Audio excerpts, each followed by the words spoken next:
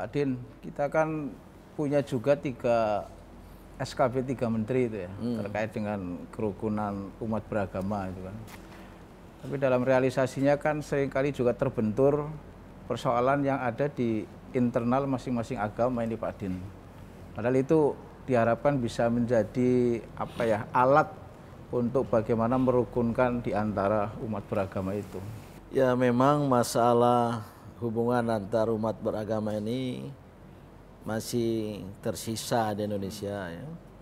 Walaupun pemerintah punya yang disebut tadi SKB ya, surat keputusan bersama antara Menteri Agama, Menteri Dalam Negeri khususnya, terutama terkait dengan pendirian rumah ibadat. Ya. Karena antar umat beragama ini menyimpan konflik, ada potensi konflik. Karena agama-agama ini ya, cenderung menyiarkan diri keluar seperti kita ketahui agama-agama ini berkembang di Timur Tengah juga sampai ke Indonesia karena ada penyiaran agama. Nah, kalau penyiaran agama diserahkan ke pasar bebas, sekedar istilah ya, pasar bebas agama, dengan logika kebebasan, demi kebebasan beragama, termasuk bebas menyiarkannya, padahal agama-agama itu cenderung menyiarkan diri, maka konflik tak terelakkan. Ya. Maka pemerintah mungkin berpikir perlu diatur tentang rumah ibadat. Janganlah di satu kerumunan umat beragama yang mungkin mayoritas apalagi mayoritas mutlak tahu-tahu ada tempat ibadat orang lain. Nah, itu mulai itu konflik. Dicari-carilah alasan ini ekspansi. Ya. ya walaupun pada dasarnya ya sebenarnya kebebasan beragama itu harus ditegakkan.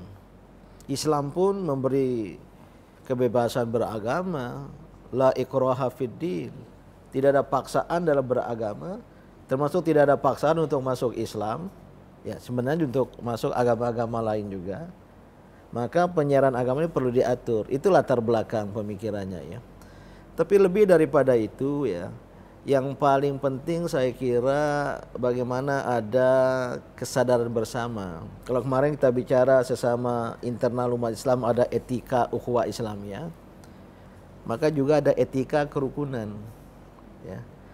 Dan kebetulan ya, saya menyelenggarakan musyawarah besar pemuka agama untuk kerukunan bangsa pada bulan Februari tahun 2018 dan kita bersepakat 450 pemuka agama dari berbagai agama ya ada wakilnya masing-masing secara proporsional bersepakat untuk menyusun kerukunan antar umat beragama dasar hubungan antar umat berbeda agama ini adalah satu, dua hal.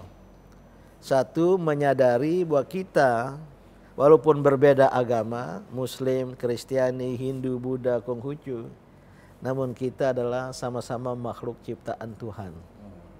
Maka dalam etika kerukunan itu satu, pemeluk agama, agama berbeda, memandang pemeluk agama lain sebagai satu sesama makhluk ciptaan Tuhan.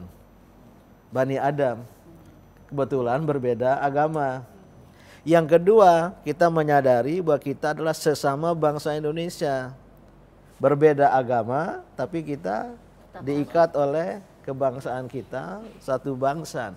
Kalau ini disadari, persaudaraan kebangsaan, persaudaraan kemanusiaan, maka perbedaan agama-agama seyogianya tidak bawa konflik. Nah, tinggal memang harus diatur ya. Karena agama-agama cenderung menyiarkan diri ya.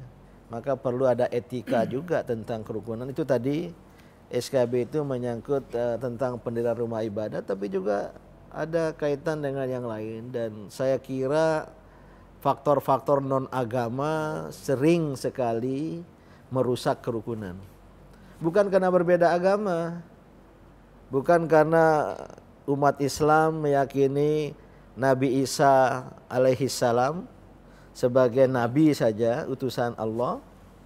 Kawan-kawan kita saudara Kristiani yang kita sebut Nabi Isa, mereka sebut Yesus Kristus adalah Tuhan.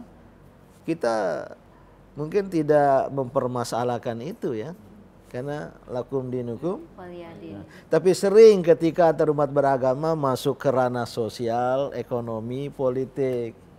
Satu kelompok agama, wah berjaya secara ekonomi. akhirnya dia mendominasi umat agama lain dalam bidang ekonomi. Kelompok agama lain berkuasa dalam bidang politik. Jadi dia jadi penguasa dan sering tidak adil atau boleh jadi tidak adil akhirnya merugikan kelompok agama lain. Faktor-faktor non agama inilah ya, non religious factors. Faktor-faktor non agama inilah justru bisa menjadi faktor picu dari konflik, ketakrukunan, perdamaian, perang menjadi ramai. Iya. Inilah masalah ketak rukunan, ketak perdamaian ini yang terjadi. Maka lagu tadi itu luar biasa ya. Kuat sekali pesannya itu. Banyak yang cinta damai. Tapi perang masih Tapi perang masih. Mengapa? Mengapa? itu pertanyaannya itu.